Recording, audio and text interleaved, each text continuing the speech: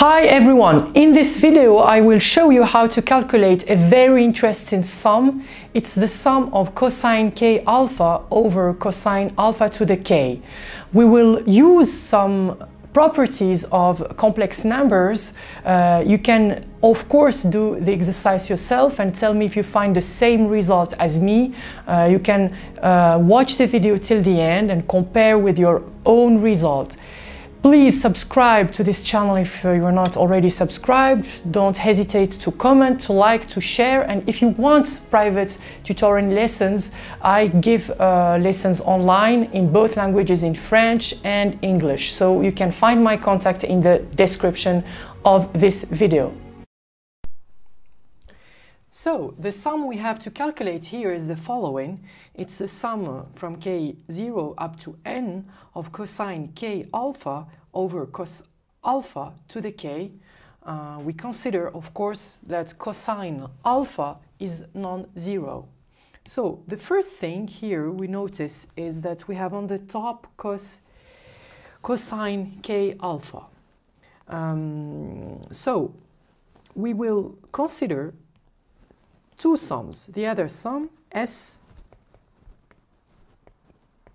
k from 0 up to n sine k alpha over cosine alpha to the k. And what we're going to do is we're going to calculate C plus IS because here we have, we know that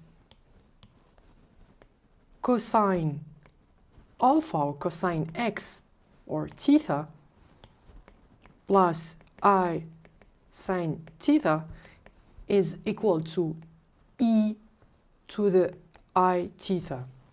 This is the main formula you have to know here from the complex numbers. So, if we consider c plus is. We can calculate this sum from 0 up to n cosine k alpha over cosine alpha to the k plus sigma k from 0 up to n. Of course, don't, don't, don't forget i sine k alpha over cosine alpha to the k. And here we can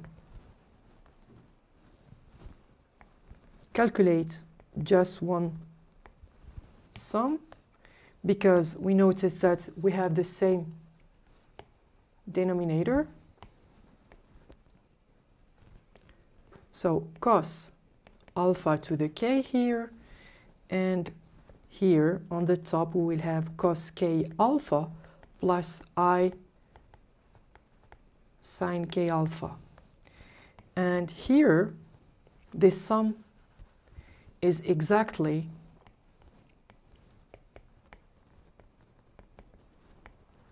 e to the i k alpha over cosine alpha to the k.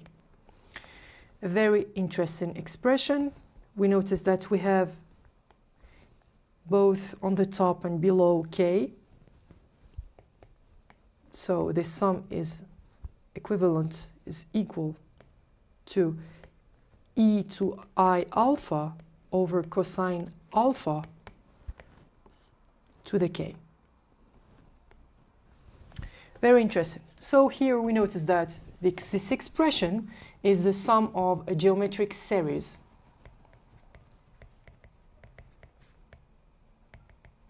Remember that when you have a geometric series, for example, a 1 plus a plus a squared plus a to the th 3 up to a to the n equals to 1 minus a to the n plus 1 because we have n plus 1 terms of this sum over 1 minus a. Okay? If we had, if the first term was a, we would take a, the first term of the sum, times 1 minus a over n, because here we have n terms, over 1 minus a. A, min, uh, a times 1 minus a to the n over 1 minus a. But here in our example, the first term is 0. So we, we're going we're going to use the first expression. Okay, so it's a sum of geometric series, and our a here is e to the i alpha over cosine a. So our sum c plus is equals to 1 minus e to the i alpha over cosine alpha to the n plus 1 over 1 minus e to i alpha over cosine alpha. Okay? Perfect. Okay, so now, in order to find our c, we have to find the real part of this complex expression. So let's simplify. On the top, we are going to find 1 minus e to i n plus 1 alpha over cosine alpha to the n plus 1. Don't forget that e to the i theta to the n equals to i to e um, to i n theta. Okay? So we applied this rule here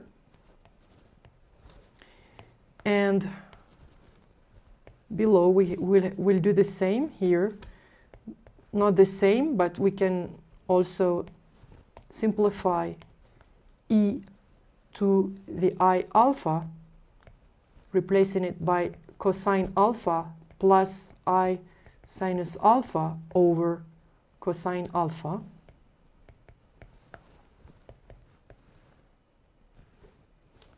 Let's continue simplifying this expression. So here we have on the top 1 minus cosine n plus 1 alpha plus i sinus n plus 1 alpha over cosine alpha to the n plus 1. And here in the below we have, we can already separate this uh, this expression, don't forget, don't forget a plus b on over c, a over c plus b over c, okay? So that's what we're gonna, that's what we're going to do here. So we're going to separate cosine alpha over cosine alpha, it's gonna be 1 here, okay? Plus i sinus alpha over cosine alpha here we can replace this one by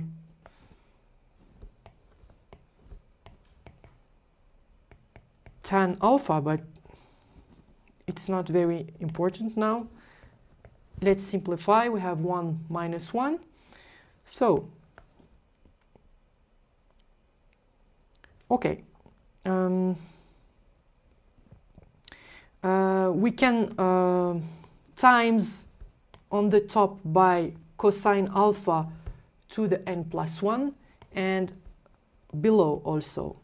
So if we times by cosine alpha to the n plus 1 on the top, we will get cosine alpha to the n plus 1 minus cosine um, n plus 1 alpha minus i sinus n plus 1 alpha and here we have i sinus alpha over cosine alpha. Okay, very interesting expression. We are looking for our c. c here is the real part of this complex expression. So the real part is here because we have i here on the top and i below we can simplify. So our c, our c expression here is going to be is going to be the following. Um, so minus i sinus n plus 1 alpha over i sinus alpha over cosine alpha. Oh, don't forget, we have to times also here by cosine n plus uh, cosine alpha n plus 1. Yes. Cosine alpha to, to the n plus 1. Don't forget it. Cosine alpha to n plus 1. Okay. So we can simplify by i here and we can just write it um, oh guys there's a small error I just noticed here. Um, here I had minus cosine alpha plus i sinus alpha. So when we distribute minus here we will have uh, minus plus so minus, al minus i. So here we have below minus i. So there's a yeah minus minus and here the result, the final result is going to be 1 over cosine n, uh, cosine alpha to the n times sinus n plus 1 alpha over sinus alpha. I hope you found the same thing as I found. Don't hesitate to tell me on the comments. If you're not subscribed, please subscribe to the channel. It's really important for this channel to get more and more visibility. Um, and see you in the next video.